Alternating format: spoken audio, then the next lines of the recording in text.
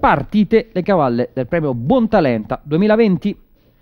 Più lenta a partire Romance d'Amour, la più svelta come da copione, è proprio Musa d'Oriente che da uno steccato largo punta dritta verso la testa della competizione. Haven Park si sistema in seconda, in terza troviamo la giubba marrone con il cap bianco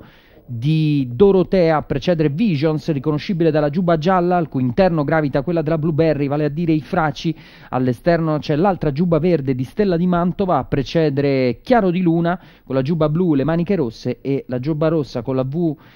gialla di Romance d'Amour a completare il quadro. Cavalle che con un ritmo piuttosto deciso sono già a tre quarti della curva, con Musa d'Oriente che sta cadenzando il ritmo, Dorotea che si è sistemata nella sua scia, in terza posizione la favorita Haven Park che lascia in quarta i Fraci, poi al suo esterno anche Stella di Mantova, Visions che va per corsie interne, ancora Chiaro di Luna e Romance d'Amour a completare il drappello delle partecipanti. Siamo alle intersezioni delle piste, si comincia ad andare ancora più in maniera decisa, Dorotea che va a premere proprio sulla stessa Musa d'Oriente d'Oriente, ma ancora meglio fa Haven Park che si prepara dal centro della pista, poi ancora i Fraci che deve trovare lo spazio e forza un barco, c'è Stella di Mantova con Chiaro di Luna che prova a fare lo scatto dal centro della pista, siamo a 300 dal palo, Musa d'Oriente è aggredita da Haven Park che tende a convergere lungo la corda, Haven Park che passa decisa in vantaggio quando manca 200 metri dal traguardo, Haven Park che sta accelerando ulteriormente ma dal centro della pista si concretizza la minaccia di Chiaro di Luna che va all'attacco di Haven Park e la trova in difficoltà, Chiaro di di Luna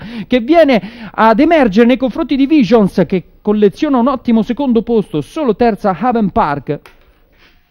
Ma vince Chiaro di Luna che qui a Roma si trova in una maniera totalmente differente e vince così la corsa numero 4 in carriera, Carlo Fiocchi in sella, il training è quello di Luigi Di Dio, i colori della scuderia rosso-blu. Grossa quota, Chiaro di Luna era disponibile a 31. Complimenti a chi l'ha presa, Haven Park dopo un primo scatto è rimasta in difficoltà. Visions fa un ottimo secondo dopo qualche problema di traffico. 1, 8, 3 è l'ordine d'arrivo ufficioso del buon Talenta, ma vince Chiaro di Luna a una quota